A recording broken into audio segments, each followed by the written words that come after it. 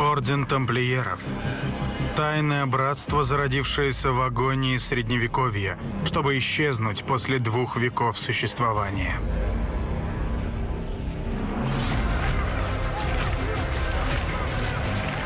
Об этих людях, оставивших след в истории, сохранилась легенда, подарившая им славу.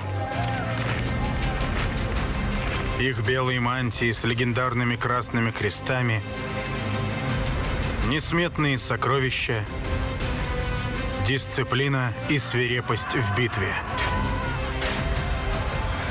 Это были элитные войска, спецназ 12 века. Спустя тысячу лет тайны до сих пор окружают этих солдат Христа. Священники, монахи, рыцари.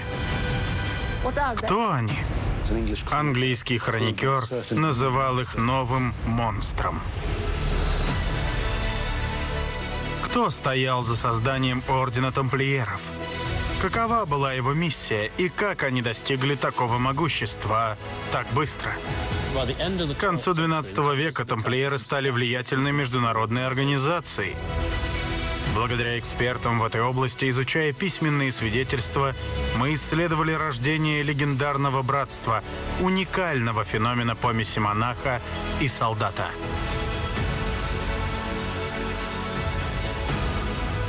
Это нечто неслыханное, военный кодекс внутри религиозной общины. Отдельные христианские мыслители считают, что смешивать молитву и битву — это кощунство.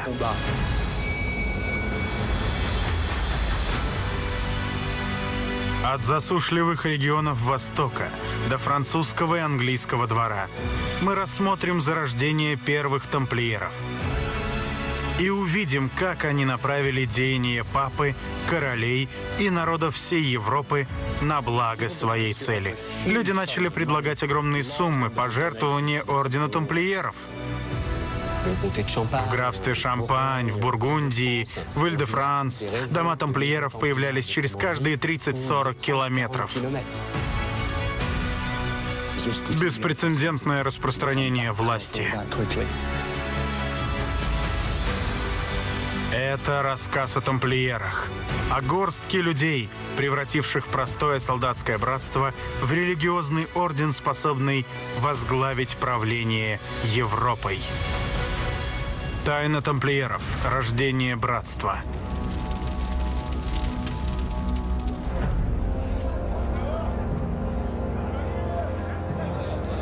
Иерусалим. Именно здесь, в разгар Средневековья, зародились первые тамплиеры.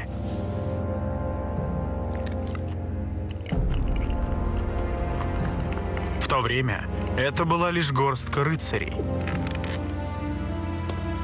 практически нищих, но набожных и обученных в бою. Они поклялись посвятить своей жизни одной цели – защите Святой Земли и христианских паломников, которые прибывали сюда воздавать молитвы.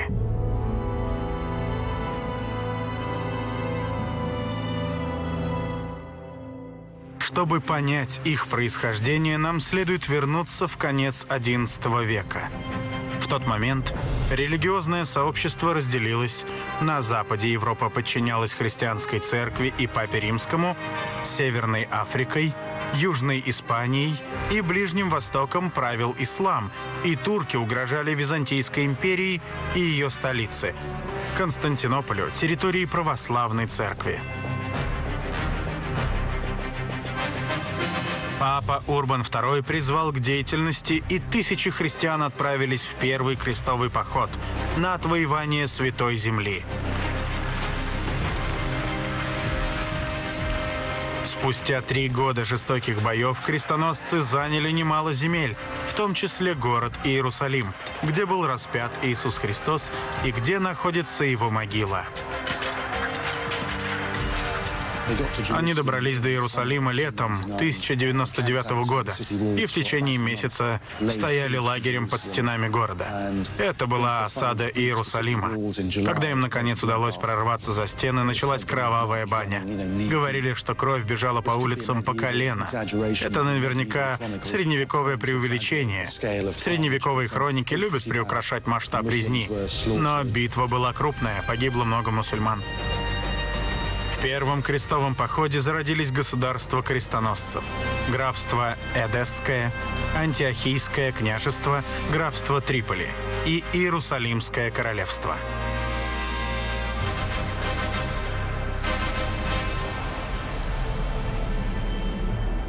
Ирония в том, что после этого эпического похода длиной в три года, разорив множество городов, крестоносцы вернулись назад, в Европу.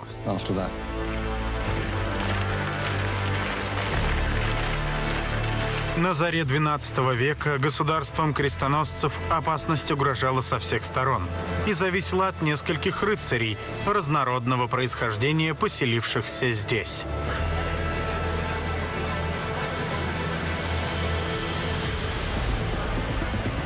Перед теми, кто остался на Востоке после первого крестового похода, стала задача удержать небольшие отвоеванные территории на долгое время. С военной точки зрения у них были враги в Дамаске, способные поднять армию в несколько тысяч человек. И в Алеппо еще больше. И Фатимидский халифат в Египте мог поднять до 15 тысяч воинов. Учитывая то, что государство крестоносцев в первые годы были не способны собрать больше пары сотен рыцарей, причем в основном пеших, это серьезная задача.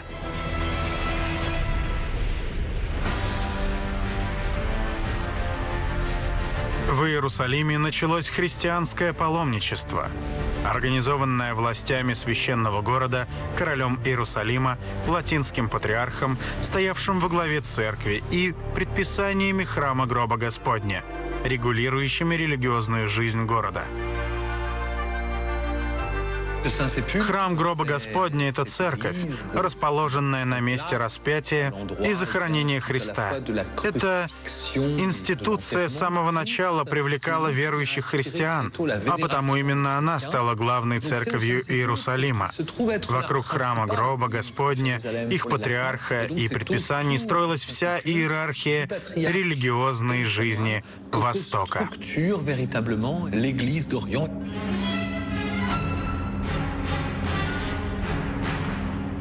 На ее стороне был орден братьев Иерусалимского госпиталя святого Иоанна Крестителя. Они принимали паломников и ухаживали за больными. Однако гарантировать безопасность становилось все труднее.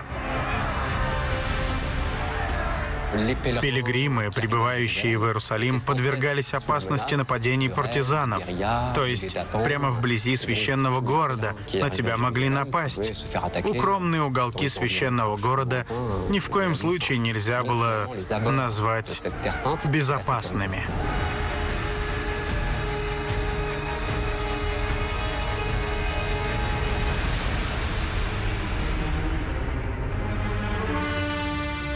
Те времена тамплиеров еще не существовало. Солдаты, отвечающие за безопасность пилигримов, назывались «Милитес Санкти Сепулкри» — рыцари гроба Господня.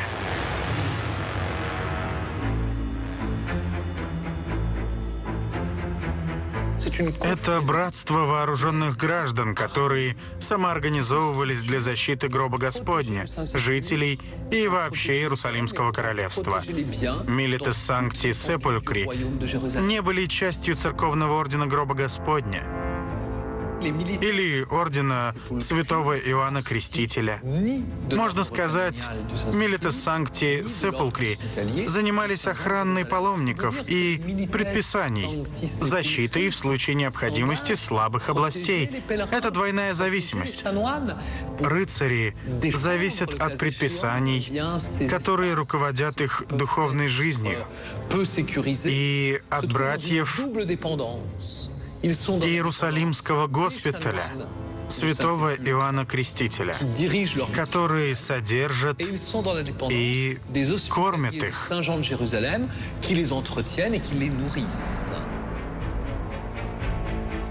Среди этих рыцарей гроба Господня оказался один, возжелавший независимости. Его целью было формирование более сильной группы, смешанного ордена, о каком никто ранее не помышлял. Солдатах нового типа, одновременно бойцах и представителях религии. Этот рыцарь стал основателем общины, которая позднее станет известна как Орден Тамплиеров. Его личность в истории впервые упоминается в хрониках XII века, написанных Михаилом Сирийцем, патриархом Антиохийской Яковитской церкви. В начале правительства Балдуина, второго из Рима в Иерусалим, пришел французский паломник.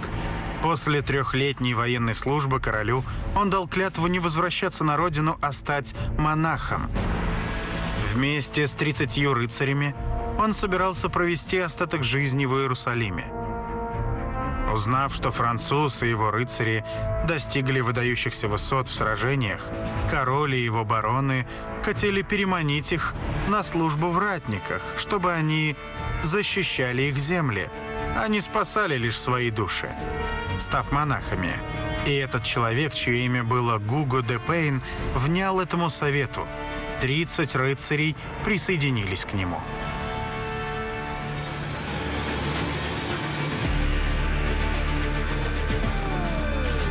Гуго де Пейн родился примерно в 1070 году в маленькой деревушке региона Шампань, в 12 километрах от города Труа.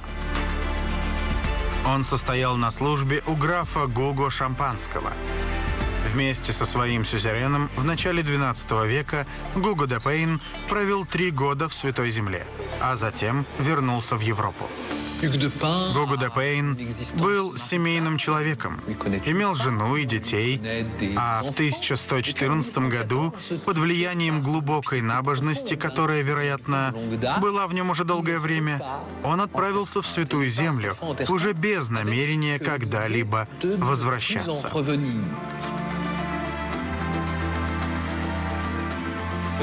Гогу де Пейн – военный стратег, защитник Святой Земли.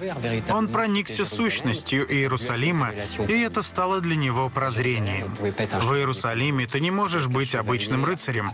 Там ты можешь быть только рыцарем Бога, посвятившим себя служению Христу. Видимо, эти мысли зародились в нем по приезде в Иерусалим. В течение нескольких лет Гуго де Пейн обдумывал свой план – а в 1119 году одно событие круто изменило его судьбу. 28 июня 1119 года мусульмане города Алеппо совершили нападение на антиохийское княжество. Бои велись настолько суровые, что это событие было окрашено на латыни как «Агер Сангвинис» — «Битва на кровавом поле».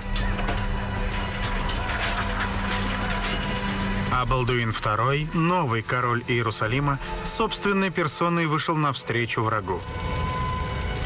Битва укрепила подозрение государства о том, что угроза извне становится слишком велика. Новый король Балдуин II осознавал, что необходима большая армия, чем есть в его распоряжении. Ему нужны охранники границ, а также дорожный эскорт для паломников. Нужны дополнительные силы. 16 января 1120 года в небольшом городке Наблис к северу от Иерусалима был собран совет, повернувший историю король Иерусалима Балдуин II и патриарх Вармунд собрали вместе церковнослужителей и аристократию государства. И в этот день два правителя приняли план, разработанный Гуго де Пейном. Образование нового ордена рыцарей, религиозный и военный, полностью посвященный обороне Святой Земли. Король и патриарх вместе воспользовались этой возможностью приставить к делу рыцарей. Патриарх пошел на риск, потому что было неизвестно, чем это решение обернется. Рыцари, собравшиеся под сенью гроба Господня, получали власть, они отделялись от патриарха и объявили о своей независимой духовной жизни. То есть они больше не подвергались указаниям храма гроба Господня, а собственному предводителю, которого сами выбирали, при этом не теряя своей истинной сущности того, кем они являлись — воинами, солдатами.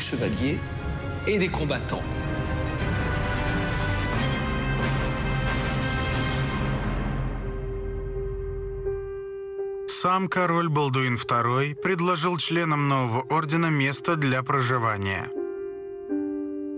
Это место упомянуто в другом манускрипте, написанном Гайомом Тирским, первым историком крестоносцев.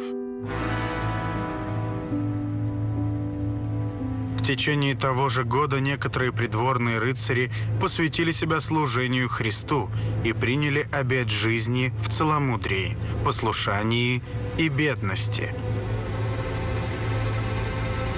так как они не принадлежали ни к одной церкви и не имели места жительства, король одарил их палатами в своем дворце неподалеку от храма Господня. Король Балдуин II сделал широкий жест, предложив рыцарям для проживания крыло своего дворца в Иерусалиме. Оно лежало к югу от Эспланады, мечетей, от Храмовой горы и лежало на территории мечети Алякса, прежнего дворца царя Соломона. Гого де Пейн и его рыцари приняли имя по ассоциации, назвавшись «Бедным братством Христа и храма Соломона».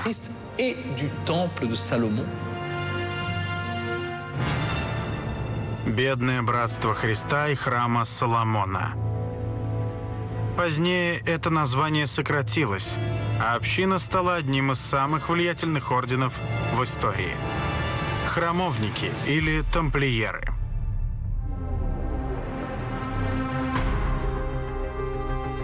Так как конфликты в Святой Земле продолжались, члены новоявленного братства должны были искать пути расширения. В 20-х годах XII века с целью роста тамплиеры должны были собрать войско, хорошо обученных солдат, а также им требовались деньги и земли в Западной Европе, чтобы снабжать их ресурсами в походах. Гугу де Пейн решил вернуться в Европу и развернуть там огромную операцию по сбору средств и рекрутингу.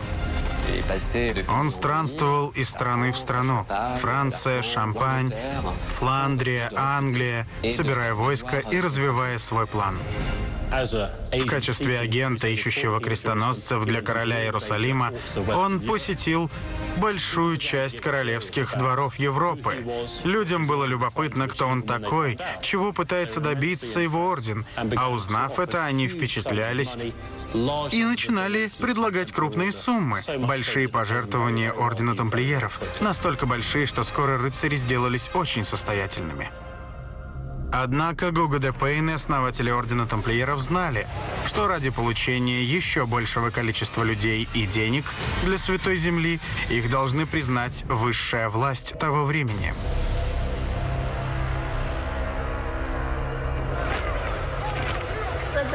Поначалу люди спрашивали, кто это? Священники, монахи, рыцари? Кто они? Ведь священник, монах не должен убивать. Но они воины, рыцари. Отдельные христианские мыслители считают, что смешивать молитву и битву в одном религиозном ордене — это кощунство.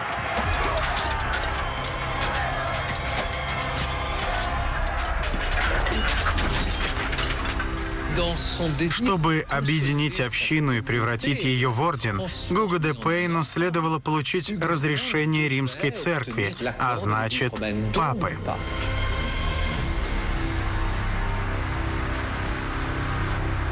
Чтобы получить разрешение папы, Гуго де Пейн воспользовался связями в регионе близ места его рождения, в Бургундии. Его первая жена, Эмилина Туйонская, была родственницей семьи де Монбар, из которой происходил человек, связанный с христианской церковью и имеющий влияние в Европе, Бернард де Фонтен, позднее ставший Бернардом Клервосским, а после колонизации святым Бернардом. Святой Бернард входил в цистерианский орден и в 1115-м основал новое аббатство, монастырь Клерво. Он имел благородное происхождение, родившись на границе Бургундии и Шампани. У него были все данные воина, умение убеждать, ораторские способности и склонность к аскетичному образу жизни. Он интенсивно работал в цистерианском ордене, игравшем крупную роль в церкви в начале XII века. Уже в 1129-м святой Бернард считался значительной фигурой в церкви, своего рода моральным компасом королевства Франции, как для духовенства, так и для мирского люда. В ордене тамплиеров он усмотрел не только способ поддержать оборону Иерусалима, но и возможность реформировать рыцарей Западной Европы. Более ста лет, еще до первого крестового похода, было то, что католическая церковь стремилась к реформации рыцарского сословия. Рыцари устраивали беспорядки, находясь в постоянной вендетте друг с другом. Их считали гордыми и высокомерными. И Бернард Клервосский усмотрел в Ордене Тамплиеров возможность предложить всем рыцарям, так сказать, ролевую модель. Вот такими вам следует быть. Он хотел отвлечь их от внутренних расприй и направить в русло более благоугодной деятельности. Уверенный, что Орден Тамплиеров даст новую возможность католической церкви, Бернард Клервосский написал манифест, вошедший в историю. Он назывался «Похвала новому рыцарству». Это новый вид ополчения, ведущего битву с плотью и кровью и со злыми духами. Они живут отдельно от своих жен и детей, под одной крышей, не имея личной собственности. Они не страшатся греха убиения врага, так как это делается ради Христа. И ради Христа они либо убьют, либо умрут. Они смирение овец и свирепие львов. Мы даже не знаем, называть их монахами или солдатами.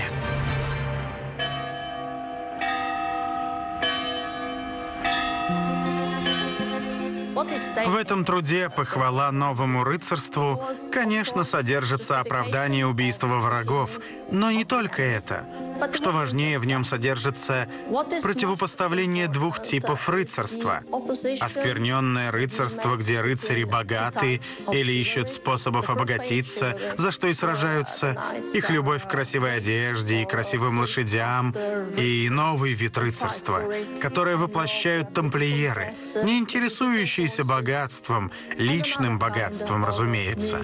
Они посвящают своей жизни поддержке Иерусалима, Святой Земли и христианства как такового. Они сражаются не только за себя, сколько за религию.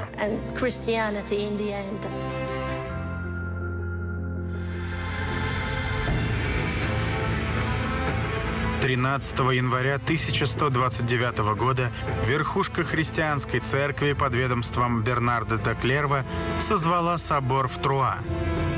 Там собрались представители папы, духовенства, аристократии и ордена тамплиеров. Во время этого сбора был зачитан и записан первый устав Ордена Тамплиеров. В наши дни в мире осталось всего 10 оригинальных копий. Среди них есть и труд, написанный на древнем французском, хранящийся в Национальной библиотеке Франции. Во-первых, манускрипт содержит в себе весь устав ордена на 13 страницах из 14. Затем следует список празднований, полученный тамплиерами от папы, а затем основной манускрипт о правилах ордена. Это, можно сказать, законодательство Ордена. Мы можем сказать, что этот манускрипт принадлежал Ордену, скорее всего, даже какому-то влиятельному дому, так как он очень красиво оформлен, переплетен. На страницах имеются водяные знаки красного и голубого цвета. Это значительная вещь.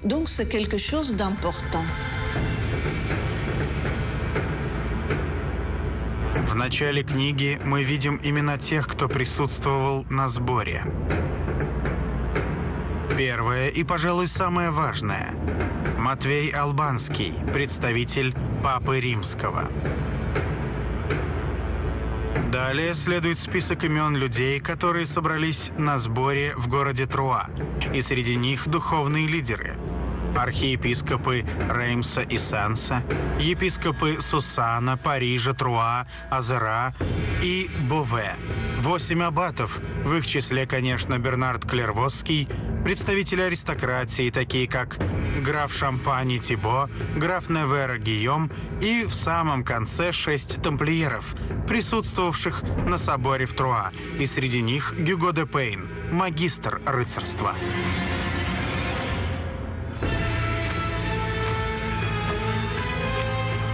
На 12 страницах манускрипта, написанного на свитке пергамента из козьей шкуры, значатся все рекомендации собора членам Ордена Тамплиеров по ритму их молитвы в битве, по уходу за лошадьми, по питанию.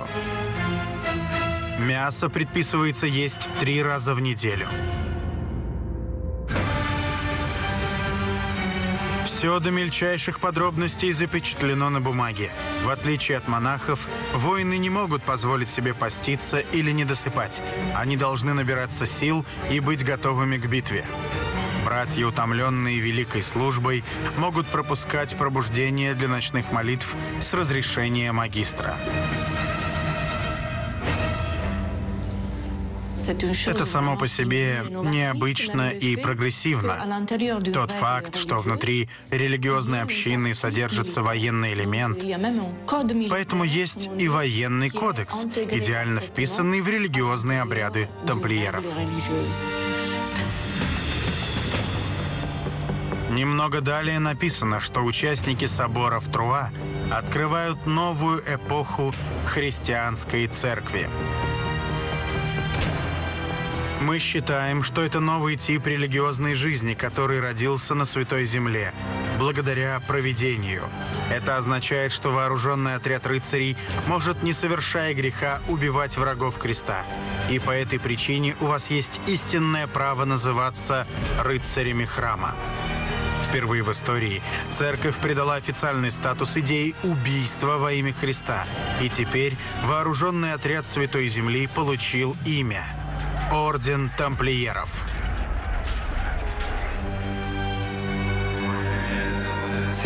Именно на соборе в Труа состоялось рождение Ордена Тамплиеров. И здесь же община, окружавшая Гуго де Пейна в Иерусалиме, превратилась в подразделение Латинской Церкви. Некоторым сама идея Ордена Тамплиеров казалась практически еретичной. Один из хроникеров Англии по имени Генрих Кантингдонский называл их новыми монстрами.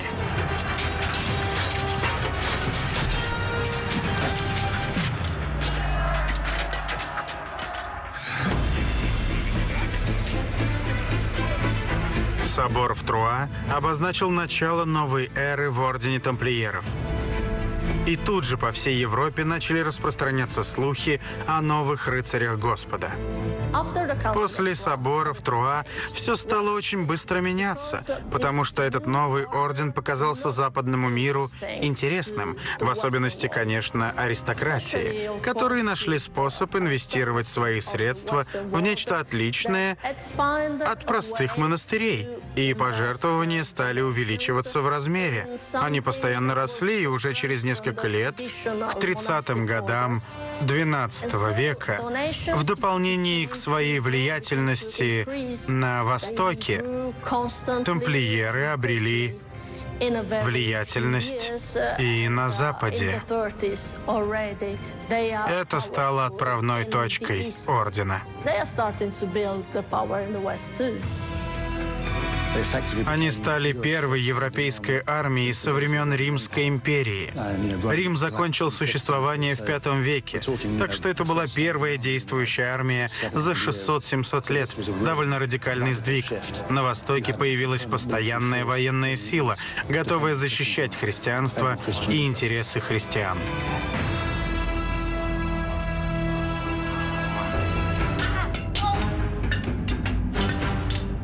Как только начались регулярные денежные и земельные вливания, появилась возможность обучать солдат. Средневековый рыцарь — это эквивалент современного танка. Это рыцарь в полном обмундировании, на боевом коне. Довольно устрашающая фигура. Беги и прячься. Это элитные войска, ударные войска, спецназ 12 века. Именно в это время появились первые достижения тамплиеров, на основе которых возникла легенда об их выдающихся боевых качествах.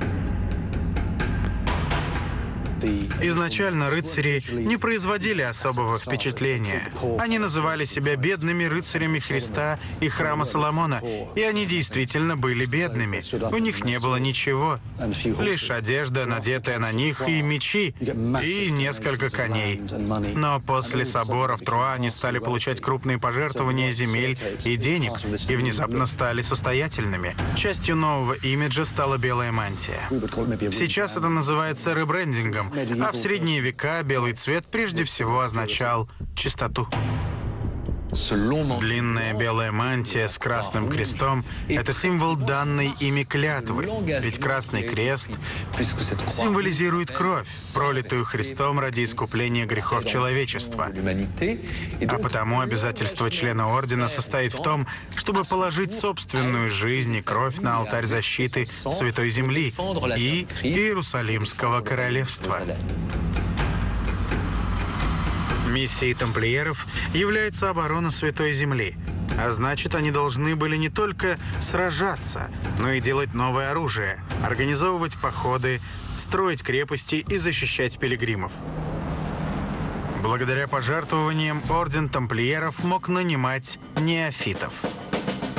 В целом, в Ордене Тамплиеров было три уровня. Самыми известными были члены рыцарского братства.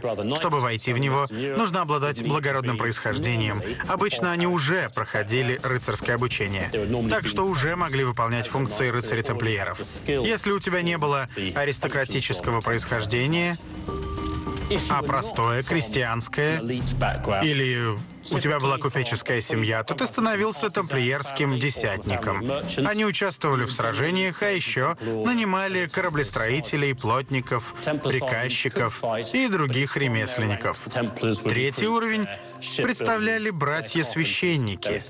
Это тамплиеры, посвященные в духовный сан. Они исполняли обязанности капелланов.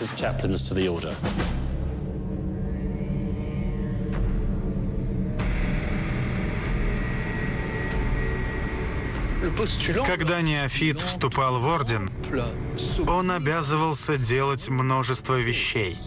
И все эти обеты приносились в определенной церемонии.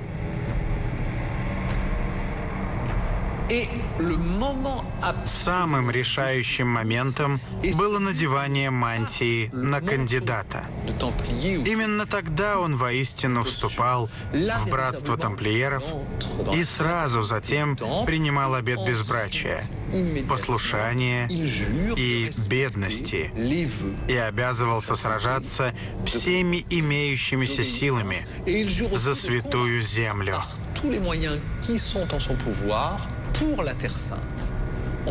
Иногда мы называем это четвертым обетом, и он был самым существенным, так как любой тамплиер, будь то рыцарь, десятник или священник, будь он на Западе или на Востоке, обязан осуществлять оборону Святой Земли. Это вступление в братство — вступление в орден. А потому так важна мантия, так важен меч и так важна приносимая клятва.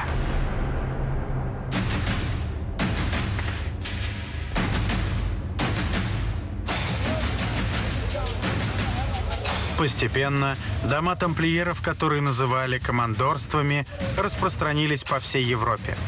Братья проживали в них, скрупулезно соблюдая устав тамплиеров, следуя только одной миссии – подготовке к битвам с Востоком, а также при умножении богатства Ордена с целью финансирования священной войны. Командорство – это большое здание с жилыми помещениями, общими помещениями, амбаром для хранения зерна и, самое главное, часовней. Именно здесь капеллан проводил службы для всех братьев.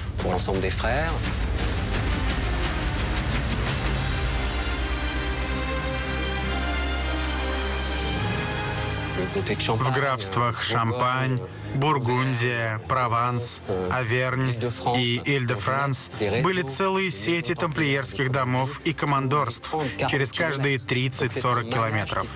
Эта сеть очень быстро сформировалась в XII веке. Командорства являлись домами тамплиеров, а также здесь осуществлялся рекрутинг. Вербовка все новых членов напрямую зависела от взаимодействия тамплиеров и их влияния на население.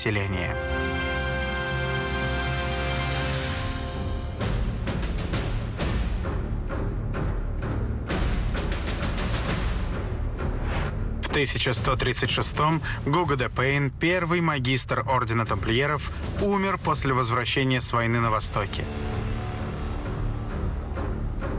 Его место главы Ордена занимает Робер де Краон, блестяще организовавший операции и деятельность командорств, которые продолжали развиваться благодаря пожертвованиям. Через 10 лет после собора в Труа события стали накаляться. 29 марта 1139 папа Иннокентий II подписал папскую буллу, вошедшую в историю. На документе стояла его печать, и он был окрещен.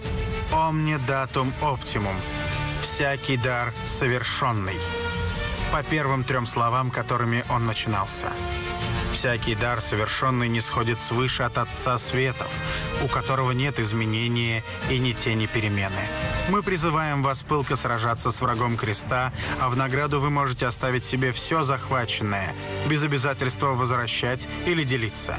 Мы подтверждаем, что Орден Тамплиеров со всем его имуществом, благоприобретенным посредством богатств Папы, королей и принцев, остается под защитой Святого Престола.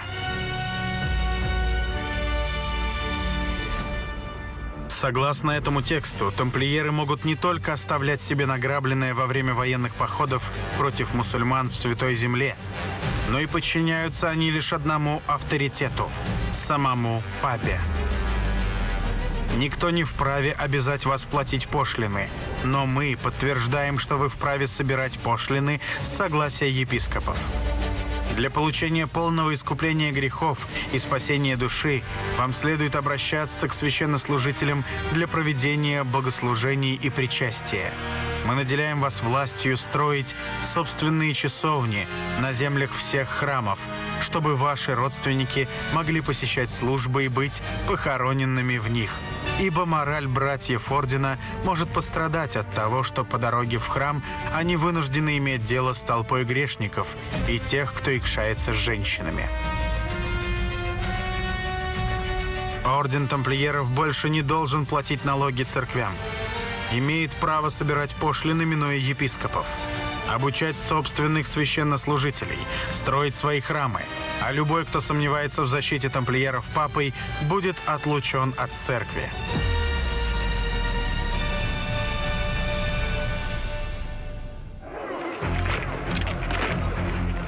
Тамплиеры больше не подчинялись авторитету ни одной церкви, ни архиепископам, ни епископам, кроме самого папы. Это дало ордену небывалую свободу действий, по крайней мере, в церковной иерархии, а также вызвало бурю негодования среди архиепископов и других членов религиозного общества, которым казалось, что орден наделен чрезмерной неуязвимостью, и это не очень ответственно. На протяжении последующих лет успешные священники и далее укрепляли полномочия тамплиеров. В 1144-м верующих убедительно попросили поддержать миссию Ордена Тамплиеров, обещая помилование самого Папы каждому благодетелю Ордена. Тот, кто одарил орден Богом данными ему богатствами, обрел тесную связь со святым братством и позволил ему получать прибыль каждый год. Ему будет отпущена одна седьмая предусмотренных наказаний. Короли им дарили огромные земельные участки по всей Европе, но даже небольшие угодья, поместья, фермы, водяные мельницы также принималось тамплиерами в качестве дара. Не было такого пожертвования, которое они бы не приняли, ведь все они шли на благую цель – продвижение христианского государства на восток. Христиане охотно жертвовали ордену свое имущество, так как это хорошо для твоей души, хорошо для жизни после смерти, ведь ведь время твоего пребывания в чистилище сокращается, и когда настанет время, ты попадешь в нужное место. В 1145-м новая папская булла дала тамплиерам право хоронить своих братьев на собственных кладбищах и свободно путешествовать по всей Европе. То, что произошло с орденом с 1129 по 1146, можно сравнить с тем, как маленький стартап за 17 лет превратился бы в интернациональную компанию. Даже по сегодняшним меркам такой прорыв за такое короткое время впечатляет. А в средние века столь скорый приход к власти такой маленькой группы людей – явление совершенно беспрецедентное. Но пока на Западе дела Ордена развиваются успешно, на Востоке все далеко не так уж радужно.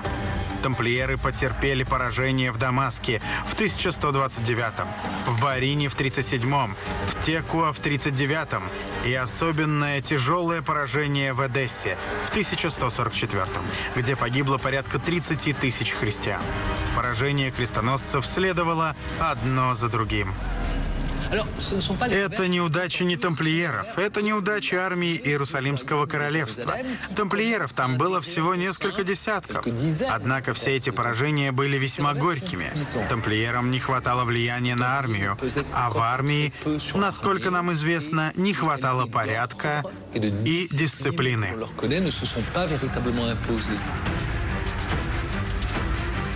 Свете всех этих поражений и угрозы христианскому миру папа Евгений III решил действовать. Папская була «Quantum Predecessoris» призывала к новому крестовому походу. Сам Бернард Клервосский встал во главе мобилизации населения 31 марта 1146 года в Визеле, в провинции Бургундия. Он приглашал защищать Святую Землю, обещая всякому, кто примет крест, полное отпущение грехов.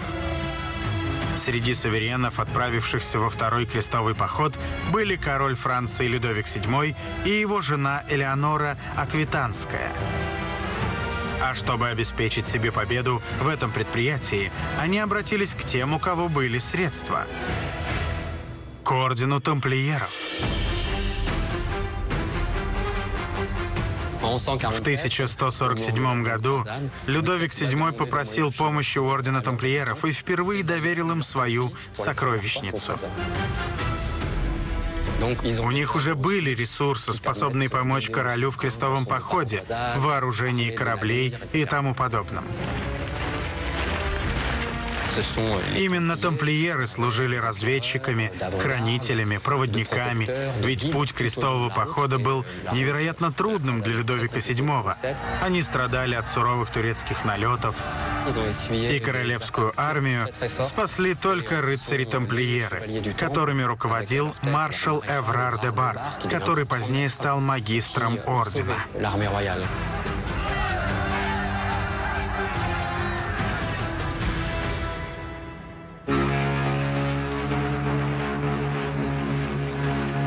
Людовик VII был не единственным монархом, отправившимся во Второй крестовый поход. Конрад III, король Германии, также прибыл в Святую Землю с 20 тысячами людей. Но уже в первые месяцы схваток армии двух королей потерпели крупные поражения против мусульман. Гора Кадмас, Дариле, Иноп. Одно поражение за другим. Людей погибало все больше и больше. Финансирование проигранных боев обходилось королям все дороже и дороже. И Людовику VII потребовалась помощь в поиске средств. Он вновь обратился к своим союзникам – ордену тамплиеров. Когда в 1148-м крестовый поход оказался в сложной ситуации, Людовик обратился к магистру ордена с вопросом, может ли тот помочь. Магистр отправился на корабле к крепости ордена и привез деньги. Это был первый раз, когда орден выступил в качестве банка, оказывающего поддержку европейским королям.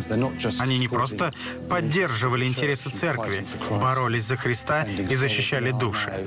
К началу Второго крестового похода они обрели и финансовое могущество, и в буквальном смысле спонсировали крестовый поход. Невзирая на финансовую помощь тамплиеров, войска короля Франции и короля Германии не смогли отвоевать земли у противника. После трех лет военных действий оба монарха капитулировали. Крестовый поход оказался тщетным. Тем не менее, ордену тамплиеров он принес выгоду.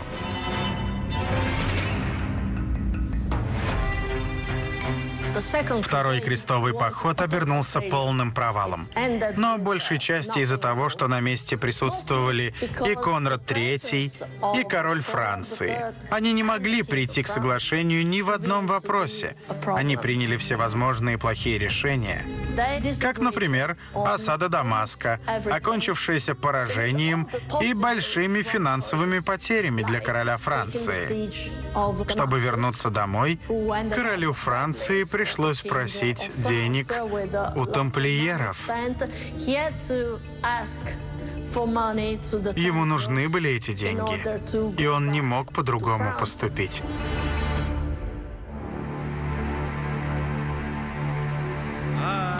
Поражение во Втором крестовом походе было выгодно тамплиерам. Они одолжили королю денег. Они-то как раз на этом всем выиграли.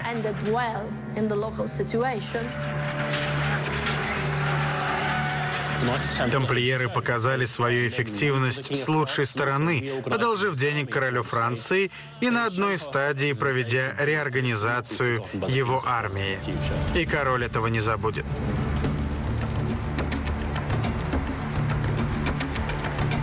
Второй крестовый поход обернулся оглушительным военным поражением. Людовик VII вернулся во Францию в 1149 -м. Как финансовое состояние, так и дипломатическое положение его были подорваны. Но его неудачи дали очередную возможность роста Ордену Тамплиеров. Он вернулся из Святой Земли с пониманием того, каковы рыцари этого ордена. Для него блеск ордена тамплиеров затмевал весь свет. Ничто не могло сравниться с ним. И потому он продолжал отдавать им все деньги, полученные посредством налогов, а также отдал им виллу Савиньи, которая стала большим командорством храма Савиньи. Этот король был совершенно очарован орденом. Ведь ордену не было еще и 30 лет с начала создания, а король Франции был поистине безоговорочным сторонником рыцарей ордена.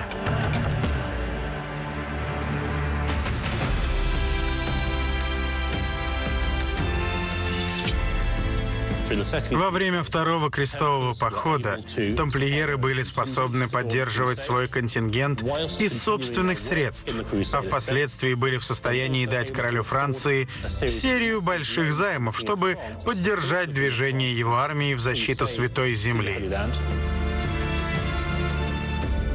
К концу 12 столетия тамплиеры стали влиятельной международной организацией. Нам точно неизвестно, сколько членов насчитывал орден, но, очевидно, у них было около шести сотен братьев-рыцарей в странах крестоносцев, а также куда более масштабная пехота, наемные силы и последователи. В Западной Европе было не меньшее количество братьев-рыцарей, братьев-десятников и другого персонала, обеспечивающего поставку ресурсов в Святую Землю.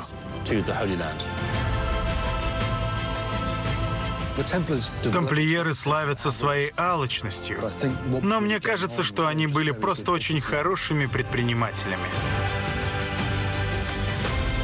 Начале второй половины XII века Орден Тамплиеров становится все могущественнее. Поддержка папы и королей позволила Ордену накопить ощутимое состояние, построить множество командорств на Западе и замков на Востоке. Его численность не перестает расти. Правительство новых рыцарей Христа только начинается.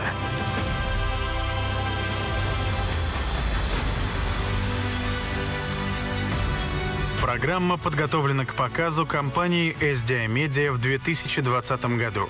Перевод Елизаветы Неймышевой. Текст читал Александр Скиданов.